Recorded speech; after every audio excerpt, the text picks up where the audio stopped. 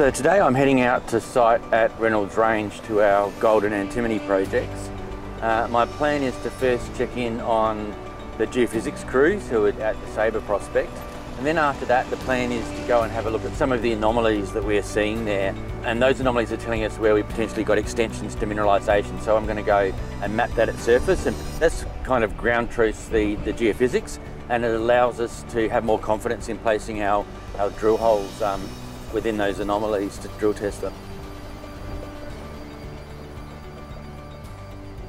As you can see, there's not a lot, lot to see at the Sabre Gold Antimony prospect, but Sabre's a very interesting target. Where I'm actually sitting, there was a drill hole that went well over 20 metres at about three grams per tonne and a couple of percent antimony. So we really want to come back here and do some more drilling at Sabre, but before we do that, we need to know where we're going to drill.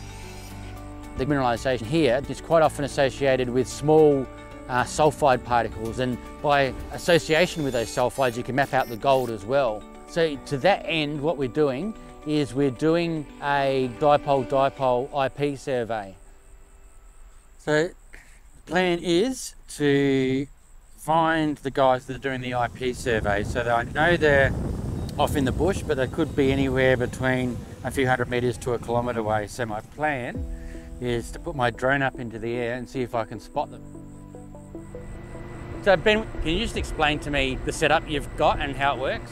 Yeah, sure. So this is this is our bush chute that we use for moving around the transmitter. Um, so what we got here is we got the generator on the back of the ute. Yeah. That goes into our, one of our transmitter current injection pits. Yep. Um, essentially, that's three aluminium, aluminium plates in the grounds. Okay. Um, that's what that's doing is that's popping in a large square waveform into the Yep. ground. We want that really sudden drop off in the current. That lets the charges that we produce in the ground. Yep. Lets that decay, Okay. and then we measure that decay of the charges to see what the ground's doing further down the line. We have a current of 9 amps and a resistance of 125.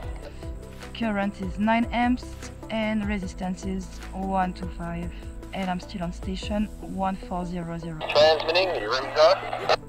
Yeah, so I've never ever seen a, an IP survey in the wild. This is my, my very first one. So I'm very interested to see see how the data's collected. It's gonna repeat three times, Yeah. and after the first one, I can start to see the data. Okay.